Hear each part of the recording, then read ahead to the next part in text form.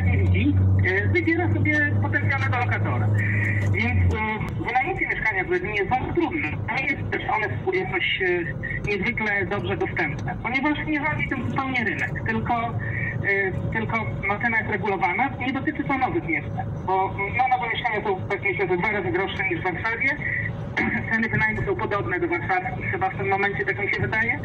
E, I, e, no i to by była zupełnie nieopłacalna e, inwestycja kupna nowego mieszkania na wynajem. Jak się już w tym mieszkaniu jest, to rzeczywiście właściciel tego mieszkania nie może nas z niego wyrzucić, jeżeli płacimy. Chyba, że potrzebuje tego mieszkania na własne potrzeby. To wtedy, wtedy tak. No ale tak jak pani, którą, której ma- mail pan cytował, zauważyła, bardzo dużo mieszkań jest własnością firm. Y, więc, y, więc im to jest właściwie na rękę. I ludzie mieszkają w mieszkaniach bardzo długo.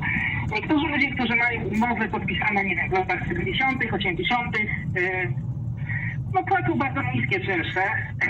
Do- Dochodzi do, takiej patologii, że są dopisywane jakieś nowe e, osoby do tych umów, e, tak, żeby, żeby dziedziczyć jakby wynajmowane mieszkanie.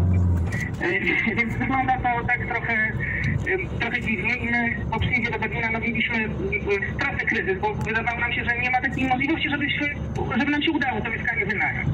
Ale to jest, no bo to jest taki model, który jest zupełnie inny. To brzmi wręcz kosmicznie z naszej polskiej perspektywy, to co pan e, opowiada, ale jak pan ten model ocenia, mówiąc krótko? No bo e, wydaje mi się, że jakoś się państwo w tym modelu odnaleźli, mm, uzbierali, no ale jednak ostatecznie kupili mieszkanie, więc czy ten e, model najmu, który państwo mają w Berlinie, to, to, to jest coś, co się panu podoba? Czy, czy, czy, czy, czy to jest coś, co pan krytykuje? Jak to jest? Ja może, może jeszcze y, powiem, y, żeby tak odróżnić jednak ten Berlin, to żeby to mieszkanie wynająć na samym początku, y, jego zysk nie może być wyższy niż 1 trzecia dochodów. Trzeba też y, zapłacić kaucję, która y, na ogół równa się trzem czynszom. Y, Czynsz składa się z części takiej no, stałej, która też wzrasta, która dotyczy po prostu wynajmu, za kaucję i też taki wynajem bez ogrzewania, bez wody i tak dalej. No i są również koszty związane z mediami, które no też dosyć szybko rosną.